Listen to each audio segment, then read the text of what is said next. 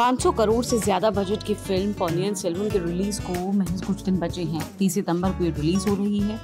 इतनी महँगी फ़िल्म है, लिहाजा इसे लेकर हिंदी बेल्ट में ये तो जानकारी है कि मणि रत्नम की कोई बड़ी फ़िल्म रिलीज़ हो रही है, जिसमें ऐश्वर्या राय अहम रोल में है।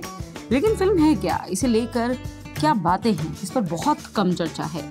आज के दौर में फ़िल्म की रिलीज़ से पहले उसके प्रमोशन का बहुत महत्व है। खासकर पैन इंडिया फ़िल्मों के प्रमोशन का दायरा तो बहुत ही ज़्यादा है। उत्तर से दक्षिण तक की तमाम फ़िल्म सर्किट में जाकर प्रमोशन करना आसान नहीं है। वक्त की डिमांड यही है। फ़िल्म ब्रह्मास्त्र को ले लीजिए। इसके प्रमोशन के लिए अयान मुखर्जी रणबीर कपूर, आलिया भट्ट ने पूरे देश में परिक्रमा की।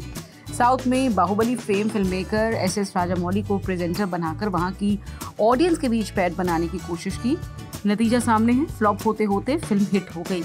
लेकिन पोनियन सेल्वन के प्रमोशन को लेकर के भी उम्मीदें यही थी खासकर हिंदी पट्टी के दर्शकों के बीच। ऐसा होना ज़रूरी इसलिए भी था क्योंकि कहानी से लेकर कलाकार तक सब साउथ से जुड़े हैं, लेकिन ऐसा नहीं किया गया। फ़िल्म का प्रमोशन साउथ सेंट्रिक ही रह गया। ऐसे में हिंदी बेल्ट के लोगों से जुड़ने के लिए ऐश्वर्या का नाम ही काफ़ी नहीं लग रहा है। अगर इसका प्रमोशन किया गया होता तो इसे बाहुबली जैसी सफलता मिलने से कोई नहीं रोक सकता था। कुछ लोग तो इसे बाहुबली और आर से भी कई बेहतर बता रहे हैं। तमाम सीन और किरदारों के लुक्स की तारीफ़ की जा रही है।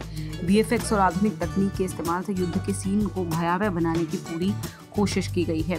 ये बिल्कुल वैसा ही सिनेमा है, मणिरत्नम, जिसके लिए जाने जाते हैं। इसके बावजूद चियान विक्रम ऐश्वर्या राय त्रिषा, जयम रवि, कार्ति जैसे बड़े सितारों से सजी पोनियन सिल्वन की एडवांस बुकिंग के आंकड़े उत्साहजनक नहीं हैं। हालाँकि मणिरत्नम ने एक समझदारी की और digital streaming rights Amazon Prime Video को 125 करोड़ में बेच दिए हैं।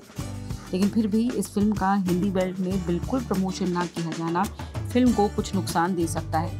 पोनियन सिल्वन दो हिस्सों में बन रही है और इसी नाम से लिखी गई कालकी की कहानी पर आधारित है। दक्षिण भारत में लंबे समय तक शासन करने वाले चोल साम्राज्य की ये कहानी है। पैन इंडिया हिंदी, तमिल, तेलुगु, मलयालम, कन्नड़ में रिलीज़ की जा रही है। लेकिन इसका प्रमोशन दक्षिण भारत में ही किया गया है। अब इसका कितना नुकसान होगा फ़िल्म को या कितना फ़ायदा होगा, ये तो वक्त ही बताएगा।